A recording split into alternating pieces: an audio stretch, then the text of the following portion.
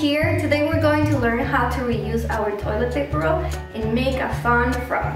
Do you know that frogs' favorite food are flies, mosquitoes, and moths? Some can also eat bigger animals like small mice or even small frogs. Don't forget to make food for your frog like this little fly. Let's get started.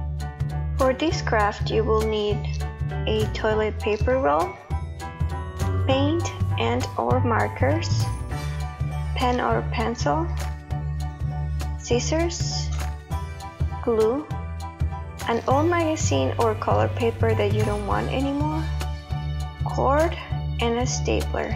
I hope you enjoy it.